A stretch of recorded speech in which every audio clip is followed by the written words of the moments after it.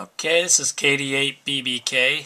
We're back here to demonstrate the uh, switching capacitance, switching capacitor audio filter again.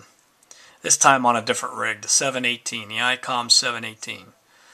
Almost everybody knows that the ICOM 718, the AGC is not adjustable, and the rig has a high noise floor, especially on the lower bands. Installing a, a filter uh, for the rig does help but uh, we'll let the filter do the work here. That's the ICOM 718 with no filter. There's the internal filter.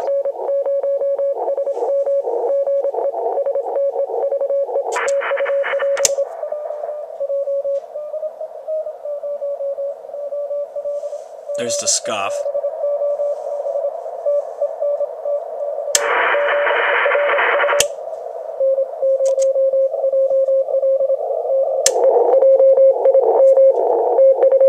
the internal filter.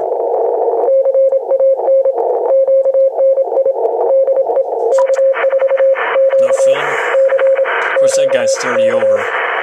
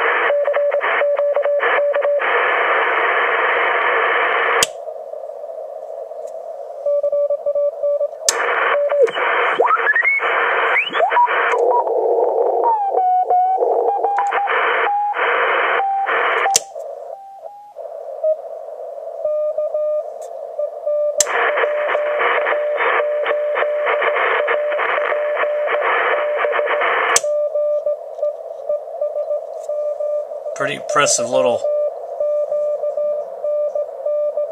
filter. Really helps on this rig.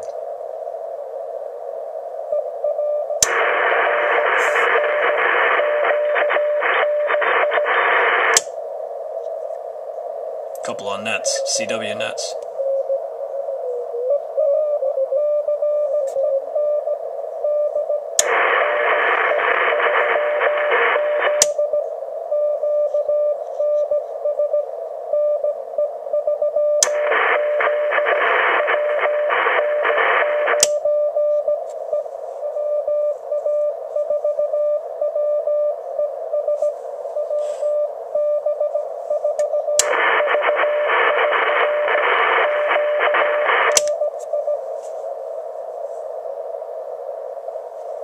Well, I think that's uh, good enough there. So give it a try, especially if you have a 718. I know I'll be using mine more.